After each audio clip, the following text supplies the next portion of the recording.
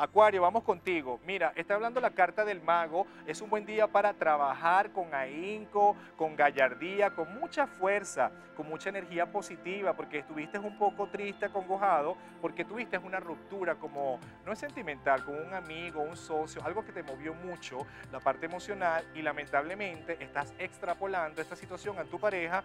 Mira, y tu pareja no tiene por qué acarrear estas consecuencias. No, señor, esto no se vale. Debes estar bien atento porque tienes que separar los cuentos.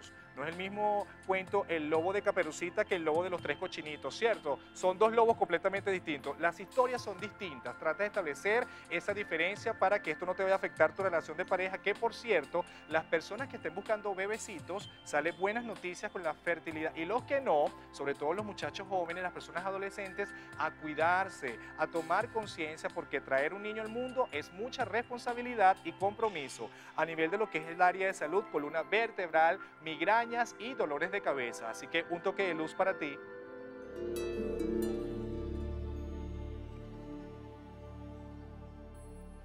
Y la carta que te corresponde es la carta del valor, el coraje, esa seguridad en ti mismo y fíjense, predomina el color amarillo en esta carta y este atributo del día de hoy y quiere decir que es esa capacidad de conectarnos con ese brillo interno, con el astro rey y recuerda que esos potenciales están contenidos dentro de ti. Eso depende de cada uno de nosotros, de cómo nos veamos a nosotros mismos. Ese estado de contemplación te va a ayudar muchísimo para que tú brilles como un gran sol.